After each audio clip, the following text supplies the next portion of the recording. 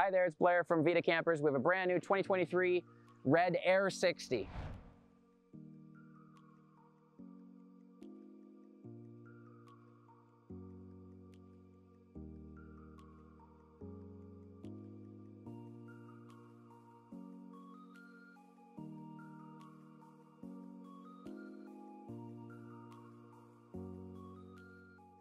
So with the Aire60, little different than the Aire80, we have a queen bed that flips off to the driver's side. You can see here we have the bed latches on the front and back, and we have the handles also on the front and back. All our VIDA Air 60s come with two adjustable aluminum bed legs on top of a rubber truck bed liner. Very durable, very strong, abrasive resistant. Now we're gonna set up the tent for the Aire60. The queen size bed flips over to the driver's side. The first thing we wanna do is release the latch. To do that, we need to remove the pin. To open the pin, simply pull the ring back and slide it out. So before you open the bed, it's really important to position your body correctly. Don't open the bed by yourself from the front. If you're by yourself and you don't have an extra person, open from the back because you don't have any tongue, trailer tongue to trip on or battery box. You've got lots of clear space to work with. So once the latches are released, before we lift the bed, we wanna place the legs vertically. So to lift the leg, we wanna pull the quarter inch push pin out, and then we want to place it into the vertical position by pushing the pin back in.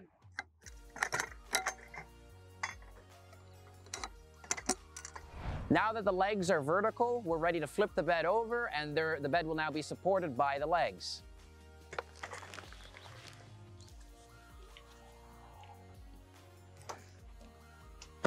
So once the bed's open, we want to pull the excess fabric over top of the bimini arches.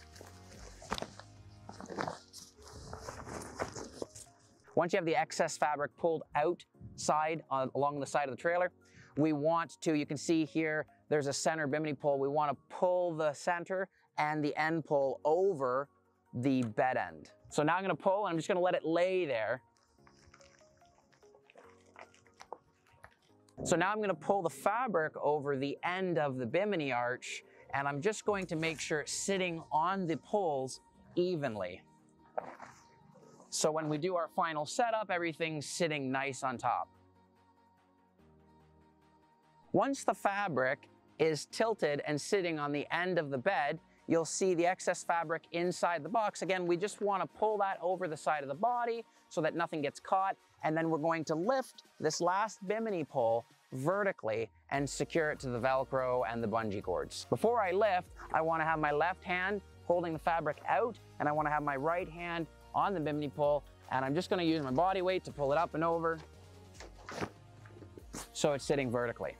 So once we have the bimini pole set up, we want to insert the roof crossbars inside. That will help stretch the tent out and then you can go around and secure the Velcro and the bungee cords for final securement. So before we insert the crossbar, I want to open the door. I'm going to go inside while it's kind of half set up and then we're going to insert the crossbars into the roof.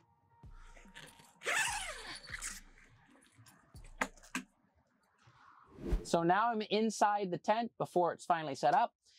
I want to insert the roof crossbars. You can see they're clipped onto the wall for travel. So on the Aire60, we have two different lengths, a short and a long. The long goes over the bed. The short goes above the living area. You can see here, again, they have a hand-like clamp that's secure to the bimini pole. So when we're inserting the roof crossbars, we want to make sure the screw heads are facing down, not up towards the tent, and we just want to clamp it on. So now we're going to push the bed end up and out now you may find on the door side, it's best to Velcro the entire wall edge to make sure it doesn't fall down in the middle on you. Sometimes you can do it without. Now, you'll also find having that fabric loose and not bunched up at the end will also make this easier. Now we'll clamp the bed crossbar to the center pole. Now we're going to insert the living area roof crossbar. We're going to clamp it onto the center bimini pole. and then we'll do the door side as well. You will find when you're putting the second crossbar on over the living area to go in on an angle, don't go straight. It'll have too much tension. Straighten it after you've got them both clamped, and then you can increase tent tension. So now we're gonna straighten the crossbars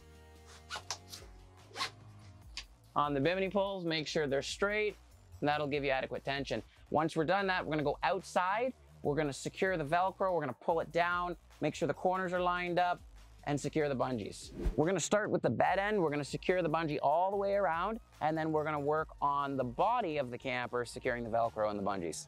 It's good practice to make sure your corners match and line up. So as we come around the tent, we're securing the bungee cords to the anchors, now, when we get to the end of the bed, you'll find it gets tighter near the end of the bungee cord. So pull on the loose end from the center of the bed. That'll give you more, more uh, bungee cord to secure underneath. Okay, we wanna make sure that we secure the Velcro and the bungee cords, and we're gonna pull down and across as we go along.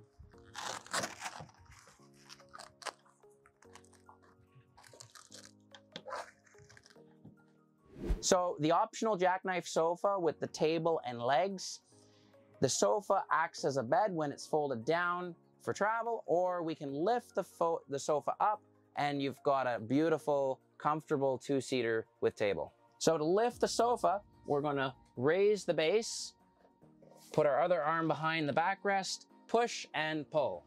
So to set up the table, just like the Aire80, we have pedestal bed or pedestal base legs, and you insert them in the floor and then you place your table on top.